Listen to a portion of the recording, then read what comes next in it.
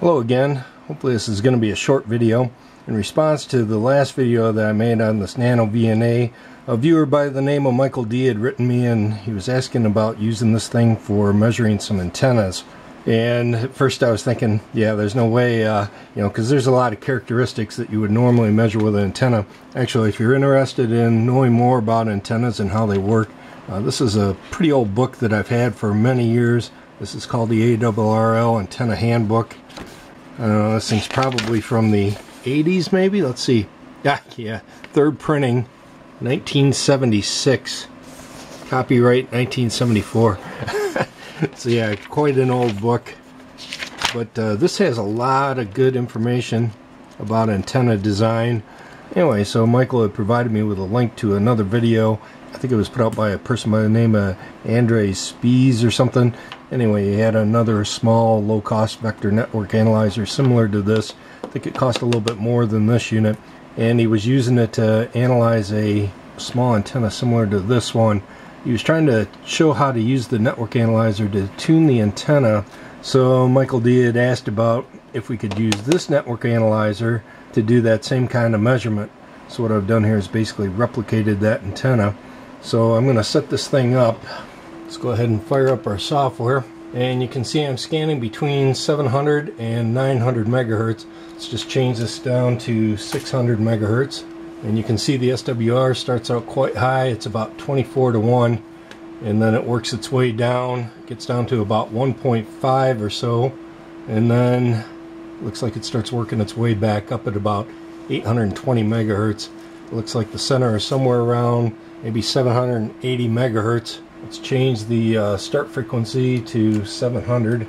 So if we uh, move the cursor here down to the lowest point, see the frequency is roughly 756 megahertz.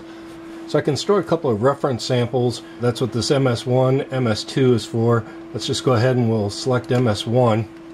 And you can see if I place my fingers on the stub. What I'm going to do now is just take our nippers and I'll cut a little bit off the antenna. Uh, remove maybe a quarter of an inch and you can see how that slid the frequency over. Uh, it's now looks like at about 820 megahertz.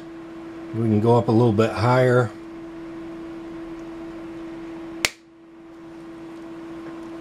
Take another chunk off on an eighth.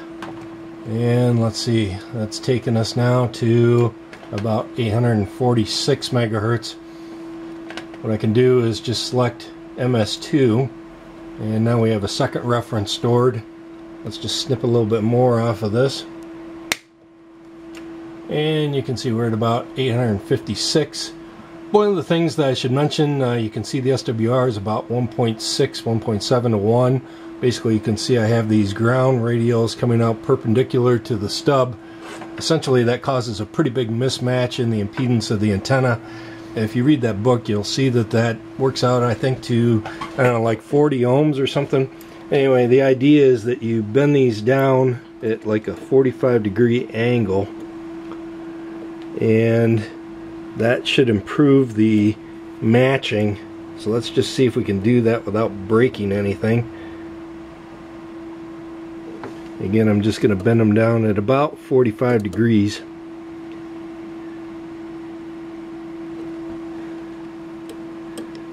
And let's just see what kind of effect that has.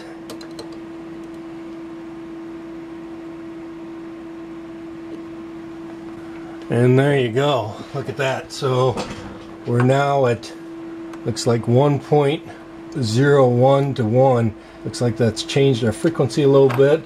We're now at about uh, 848 megahertz it looks like.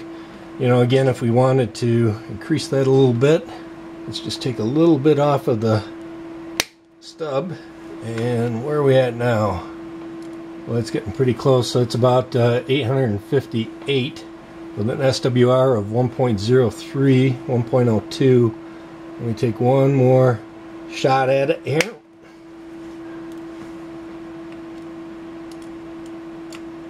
And wow, right there you go.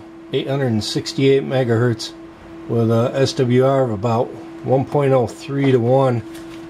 Let's just take a note of that so it's 1.023 to 1 and the frequency again is 868.0 megahertz so this will be our reference let's go ahead and we'll disconnect this antenna so I also made this one you can see I've already bent the ground radials again at roughly 45 degrees I think this is about three and a half inches so it's going to start out at a little bit higher frequency. Again, if you read that ARRL book that I mentioned, they talk in there about the number of ground radials. Basically, uh, four really doesn't do you a lot of good. So let's just go ahead and we'll hook this antenna up. And again, I'll just clamp it. And we'll go ahead and torque it. Uh, the SWR looks like 1.02 with a center frequency of about 870 megahertz. Maybe trim a, just a little bit more off of it. I like to get it closer to about 890 or so. Now ah, we're making some headway. So about 888. So as long as I stay somewhat away from it, you can see it's definitely fairly sharp at 890 megahertz or so. It looks like the SWR is pretty close to 1.01.